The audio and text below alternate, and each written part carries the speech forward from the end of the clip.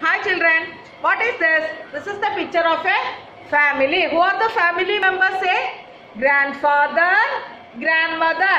This is grandfather, grandmother, father, mother, children. And here look, what is this? This is a house. A house has different rooms. Which are the different rooms we see in a house? Living room, bedroom, kitchen, bathroom and dining room. Where do we sleep at night? At bedroom. Where do we have our food?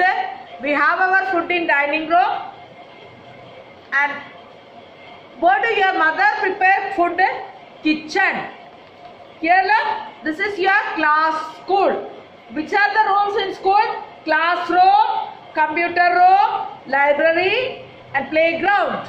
Where do you play in your school? Playground. Look what I said, the different people help us. Who are the different people help us? Policeman, doctor, teacher, postman, gardener, cobbler and many other people help us. Carpenter, plumber, electrician, fireman, like many people help us. We will have to thanks for them to helping us. Dear children, practice to say all the people help us and study all these things. Thank you.